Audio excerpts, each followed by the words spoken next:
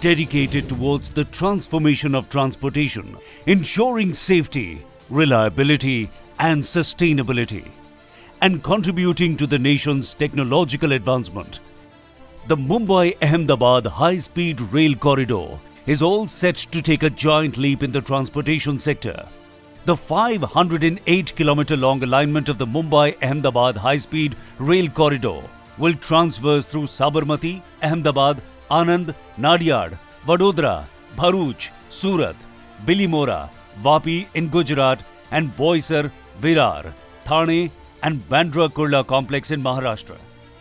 The MAHSR project will reduce the travel time between Mumbai and Ahmedabad, give a boost to the economy, benefit sectors like tourism and infrastructure, and give thrust to the Make in India initiative.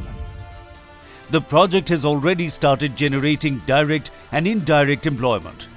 India will be using the world famous Shinkansen technology for this project, which is known for its technological advancement and has a zero passenger fatality record in the past 55 years of its operation. The state-of-the-art aerodynamically designed high-speed train sets using Shinkansen technology have 10 cars and can seat approximately 730 passengers.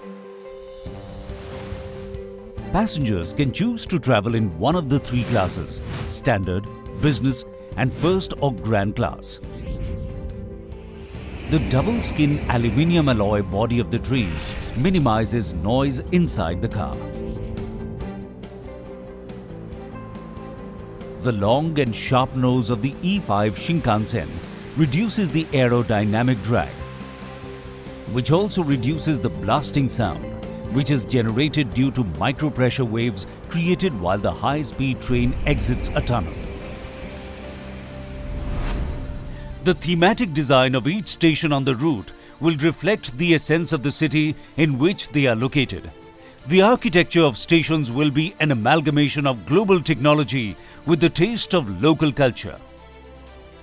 Inspired by the Dandi March movement, a multimodal passenger hub near Sabarmati HSR station is also taking shape.